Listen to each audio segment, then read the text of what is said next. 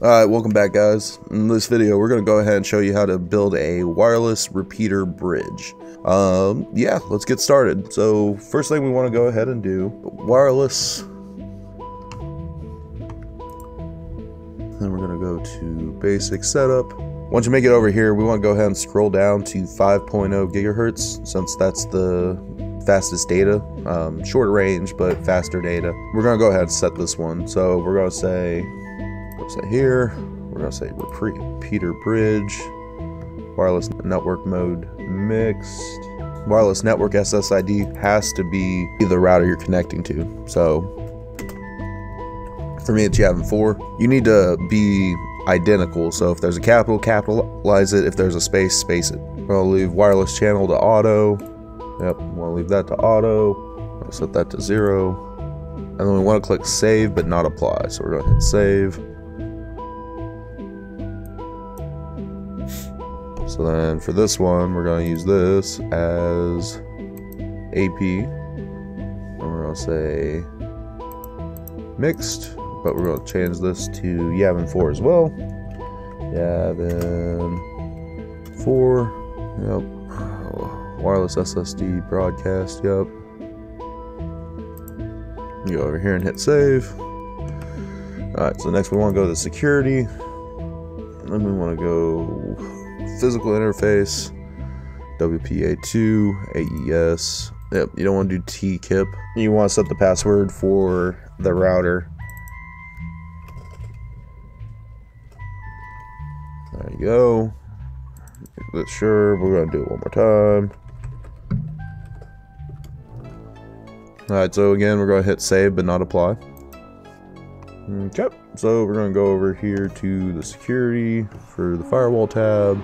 So, security, firewall. Alright, so once you get here, you're going to unclick every single one of these except filter multicast, and then you want to go ahead and disable SPI firewall. So SPI firewall, we want to hit disable. There we go. And then from here, you're going to go ahead and just click save. Do not hit apply. So we're to over here and hit save.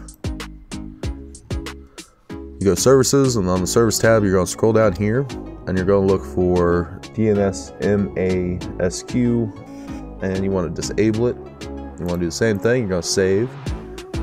You're to scroll down here and you're going to save but not apply. Save. We're going to disable, the next part is we're going to disable the WAN connection. So to do that, we want to go over to setup, basic setup, WAN connection type set to disabled. Yep. Okay, so from here we're going to go ahead and say our IP address for this router is going to be 1.2.168.1.2 and the gateway is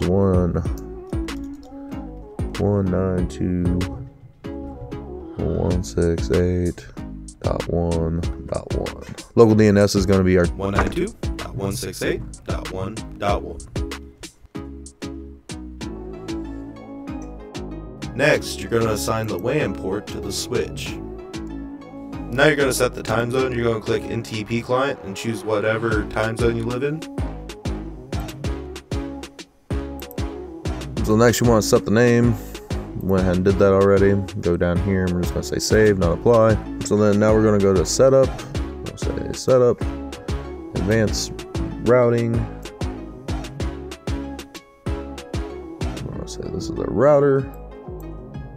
And this time we're gonna save and then apply. So we're gonna scroll down, hit save, and we're gonna apply settings one thing I forgot to show you. Make sure you change your channels. So inside your DDWRT, we're going to go over here to basic setup. We're going to go over here to wireless. Then we're going to go over here. And what we're broadcasting is the 2.4 gigahertz. So I'm going to go ahead and set this to wide HT40. We're also going to set your wireless channel to channel 6 And we don't need to do anything for uh, the 5 gigahertz band. Okay guys, now we're to go change the wireless 2.4 gigahertz band on the main router.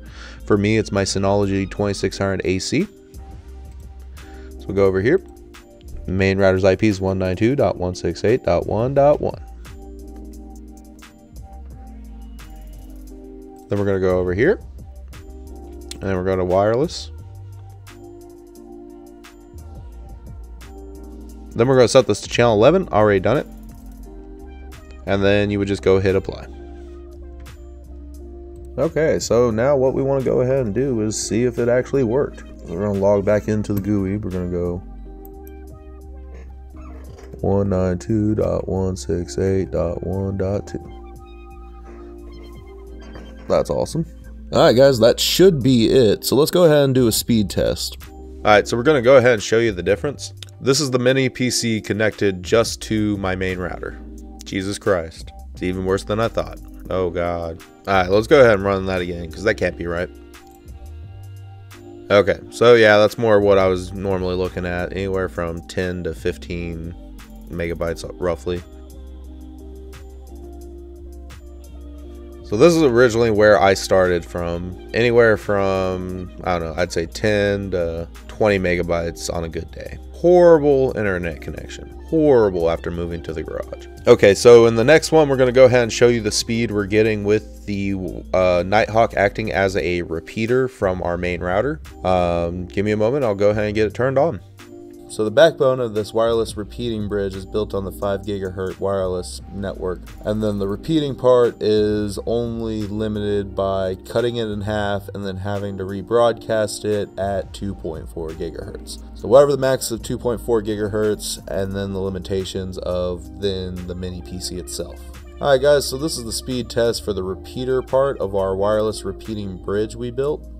So this is completely wireless. This is my main router, which is the Synology 2600 AC, connected wirelessly to the Nighthawk AC 1900 model R7000. So I showed you how to install custom firmware on your Nighthawk, which we put DDWRT on, and using DWRT we were able to do this, which uh, you are unable to do with a stock version of the repeater. Let's run the test.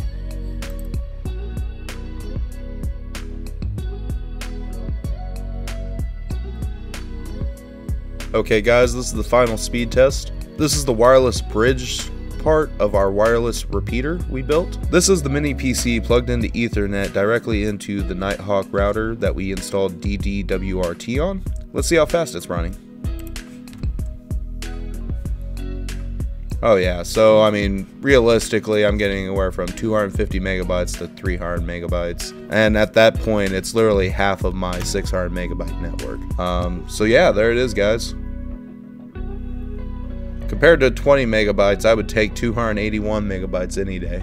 Well, there it is, guys. You now have a wireless bridge and a wireless AP on the same router. If you found this content helpful, go ahead and like and subscribe. If you want to support this channel directly, you can get your very own Who Built the Cages Joe t-shirt. Stay tuned for tech reviews and tutorials. If you like memes and propaganda, you're in the right spot. As always, my friends, meme on my friends, meme on.